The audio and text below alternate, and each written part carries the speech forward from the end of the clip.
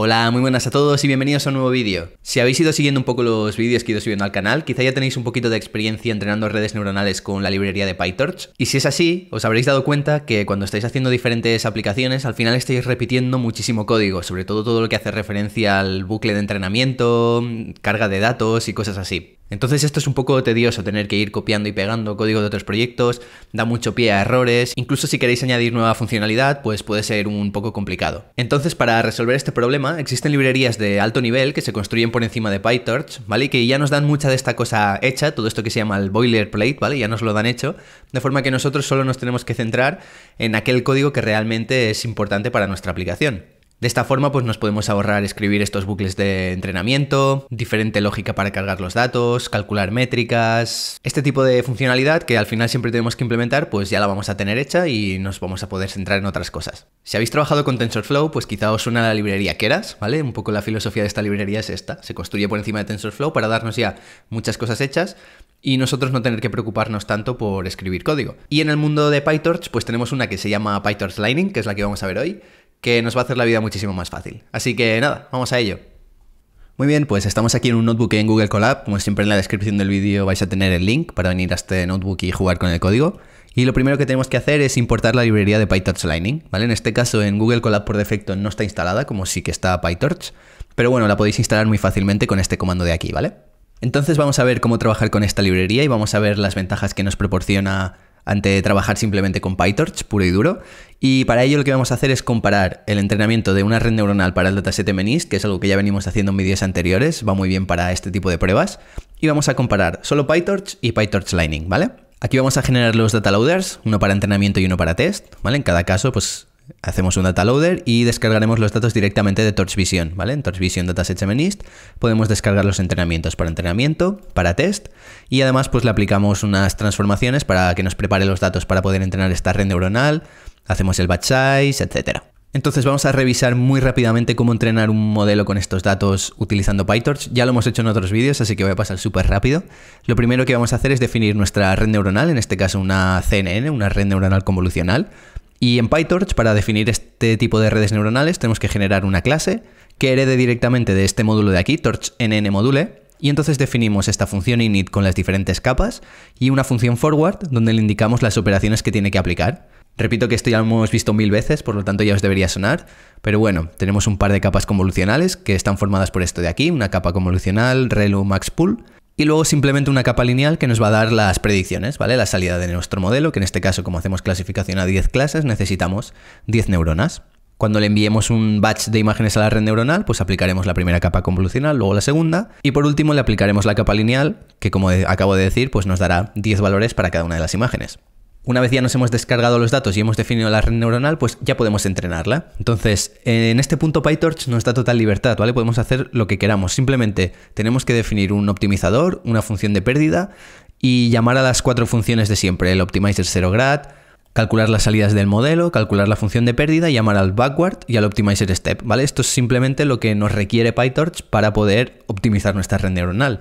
Entonces esto lo tenemos que meter en un bucle for durante varias epochs, tenemos que iterar por todos nuestros datos.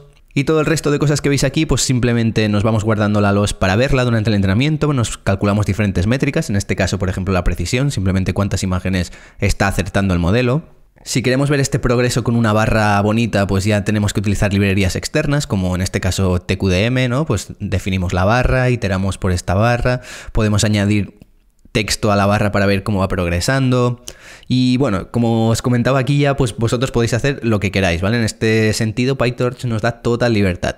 Esto está bien porque tenemos mucha flexibilidad, pero por otro lado es lo que comentaba al principio del vídeo, ¿vale? Vamos a tener que ir arrastrando este código para cada nuevo proyecto que hagamos o que para cada, cosa que queramos probar, pues copiar esta función feed, modificar lo que haga falta en función del modelo que estemos entrenando. Si ahora queremos nuevas métricas, tenemos que venir aquí y copiarlas, venir aquí al texto que enseñamos por la barra y añadirlo manualmente. Y esto puede llegar a ser muy tedioso, ¿no? E incluso es eh, propenso a que introduzcamos errores.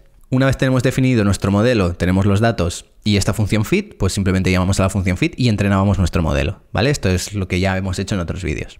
Entonces la idea ahora es, vale, pues cómo cogemos todo esto que ya sabemos hacer, que hemos visto en la función de antes, y intentamos hacerlo de forma más flexible, más eficiente. No sé, todo este bucle lo podríamos extraer, todo este bucle de entrenamiento, ya que lo vamos a tener que repetir siempre y simplemente poder meter donde haga falta el código particular para cada una de las aplicaciones. Pues es esto precisamente lo que hace la librería PyTorch Lightning y lo que vamos a aprender ahora. Lo primero que tenemos que conocer de esta librería es el objeto Lightning Module, ¿vale? Es como el objeto principal de PyTorch Lightning y lo podéis ver como directamente un reemplazo de la clase torch.nn.module que hemos utilizado antes para definir nuestra red neuronal. Y es que de hecho si os fijáis, cuando definimos nuestro modelo, en este caso heredando de esta clase, las dos primeras funciones son exactamente las mismas que teníamos antes. Lo he copiado de allí y lo he pegado aquí directamente. En la función init definimos nuestras capas, las diferentes capas de la red neuronal, y en la forward definimos todas las operaciones, ¿vale? Repito, exactamente lo mismo que antes. Sin embargo, ahora tenemos estas dos funciones extra, ¿vale? Como mínimo.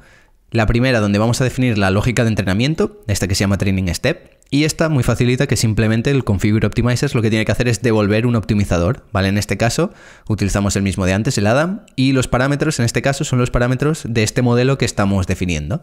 Entonces en la función Training Step, esto lo que nos va a hacer es devolver cada uno de los batches del data loader, y de aquí pues extraemos como antes la imagen y la etiqueta, podemos calcular la salida de nuestro modelo de esta forma, calculamos una función de pérdida. Esta función de pérdida la podemos loguear o no.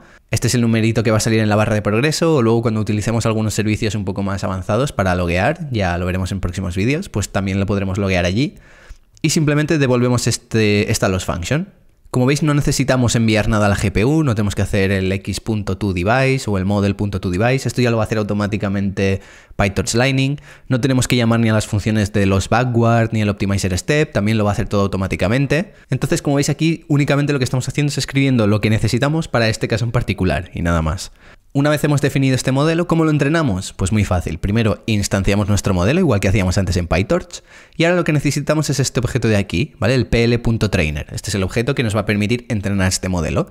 A este objeto le podemos pasar muchas, eh, muchos parámetros, entre ellos, pues quizá el más interesante ahora mismo es las epochs, ¿vale? Entonces esto directamente, este trainer, cuando llamemos a su función fit, le vamos a pasar nuestro modelo y los datos de entrenamiento y automáticamente se va a encargar de entrenar este modelo, ¿vale? Va a entrenar por 5 epochs, iterando por todo nuestro dataset, como exactamente lo que habíamos escrito antes en nuestra propia función fit, pero ahora ya se encarga de ello directamente esta librería de PyTorch Lightning.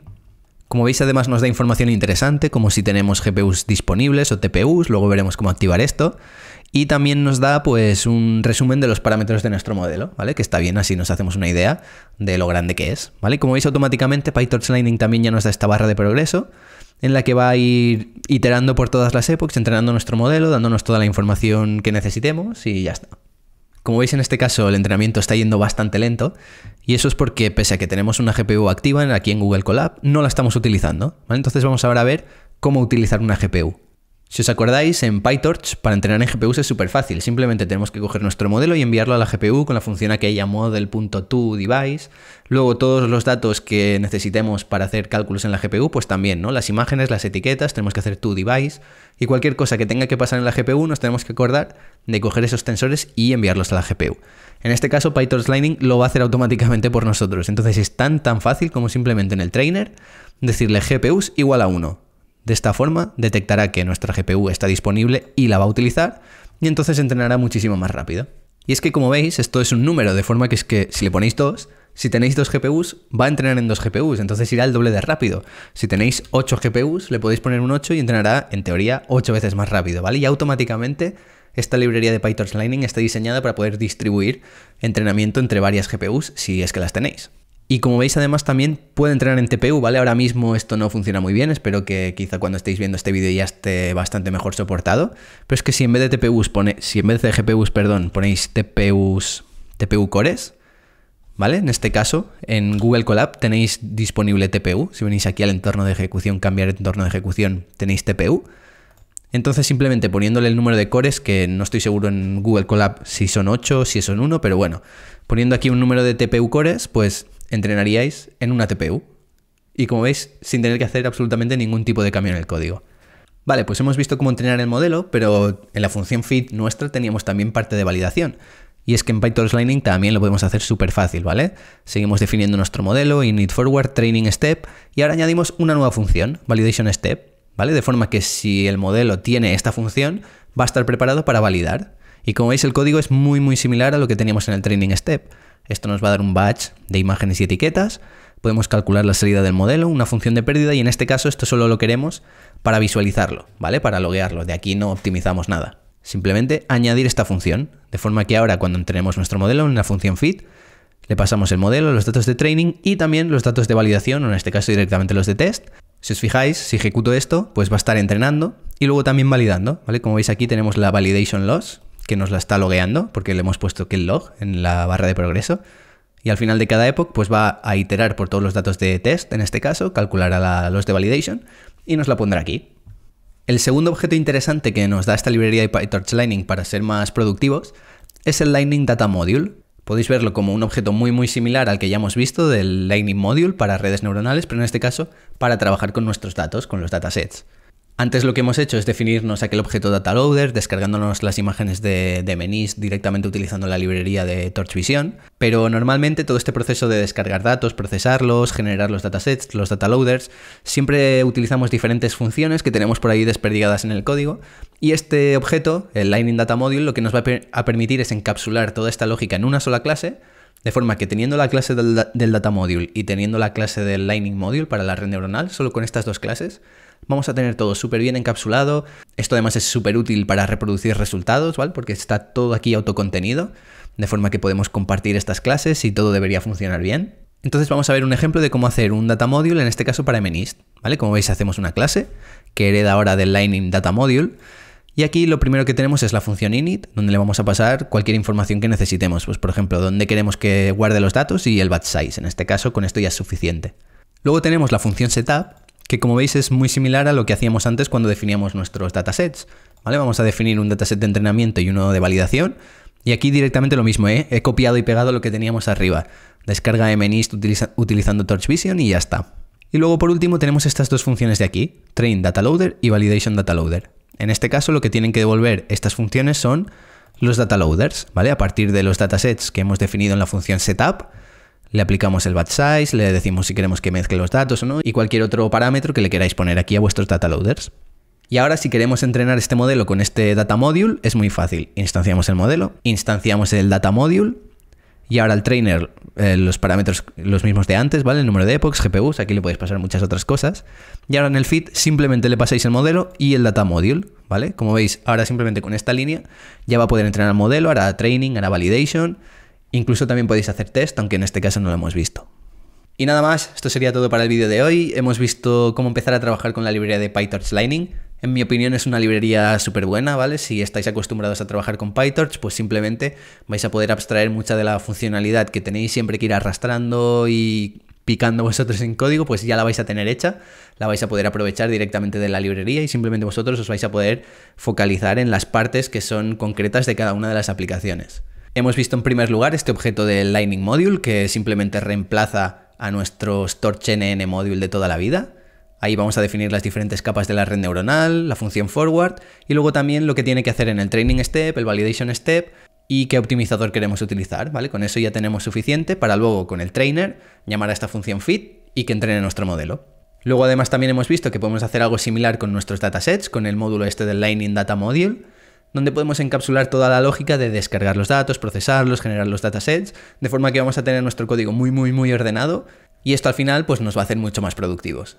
En fin, que espero que os haya gustado. Tengo varios vídeos preparados en los que vamos a seguir explorando esta librería porque además de lo que hemos visto aquí nos ofrece muchas más cosas y yo creo que al final realmente os va a ayudar muchísimo en vuestros proyectos. Nada más, nos vemos en el próximo vídeo. Chao.